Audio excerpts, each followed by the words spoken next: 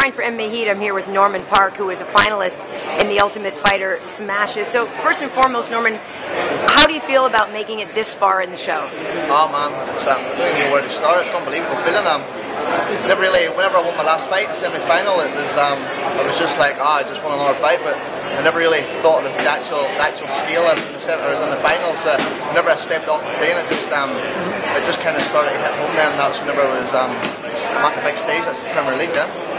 And you were highly regarded coming into this fight anyway, right? I mean, did you feel that you had more pressure on you because you had so much experience?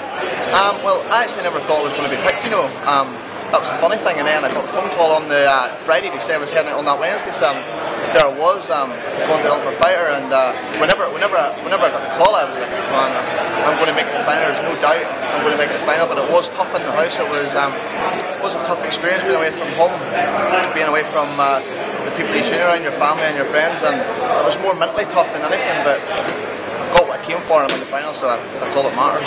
Well, it's funny because at the beginning of the show, Dana gives you guys that speech, and he says, "I know you guys are all going to roll your eyes, and you won't believe me." But it really is that hard, isn't it? Yeah, it was tough, man. It was. Um, we never really thought about it. It was going to be that tough, but as soon as the weeks dragged on, whenever we got into, I think it was halfway through the show, and then some silly things started happening. And, uh, it was real tough, man. Like that's whenever the phone the phone came on the scene. Then that was the worst mistake ever. Like. So what do you what do you make of your teammates and, and the fact that you've got three of you guys in the finals? Do you think there was something special about your team versus the Australian team? Um, I think you know a lot, a lot of from the Team UK underestimated, underestimated the Australians. Like, but they had, um, and saying that, I think their welterweight was more stronger than their lightweight division because for the simple fact that they had some bantamweight and featherweight fighters fighting in the lightweight division, which was, was never ever going to happen. Like, um, but but their welterweights were natural. They were at their natural weights. Um, they had an advantage there, and um, they, they were good, man. Yeah, they were good. They were a good level, like so. Respect to them, man. What do you make of Colin Fletcher? Oh, Colin, man.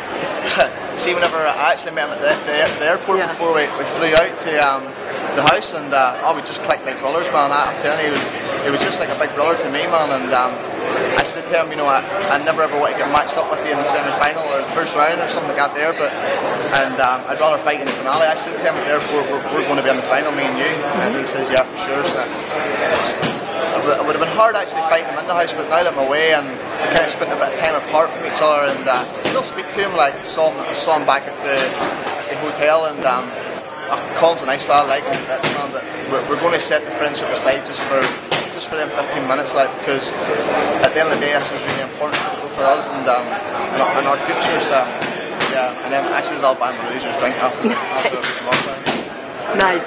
Now, correct me if I'm wrong. You're Irish, yes? Yeah. And I, beautiful country. I've been, yeah. loved it. Uh, can't wait to go back.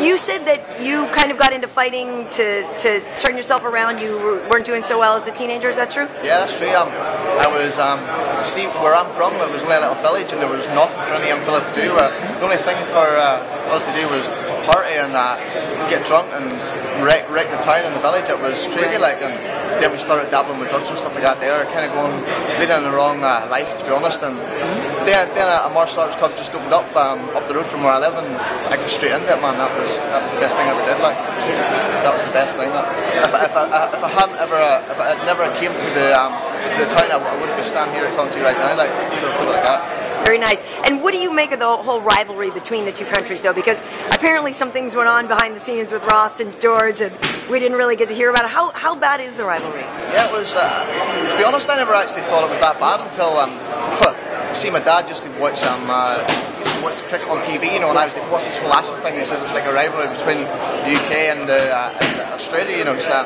whenever I came to the house, then it was, oh man, I think the Australians were more against us than we were against them. Like I'm telling you, it was, it was that bad. But for me, I just, I'm an easy, easy come go guy. I don't really mind. So, but there was a lot of tension there, especially between the coaches. Um, uh, there was at times things got really, really heated up. Like, but you think, you know, uh, you think Ross got the better of George in terms of the verbal exchanges?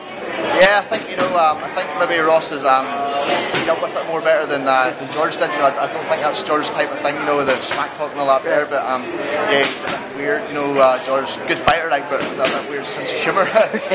well, he certainly stuck it to him in the demolition derby, right? Oh yeah, and you, and you straight here because um, I think Ross um, he does a lot of mo- motocross and stuff like that there. So we kind of got the gist of driving and stuff. And once we once once he heard it was um, construction derby, said that's it, man. He was getting 10 G's for sure. Great, great. Well, congratulations, like I said, on making it so far, and best of luck to you. Thank you very much. I appreciate it.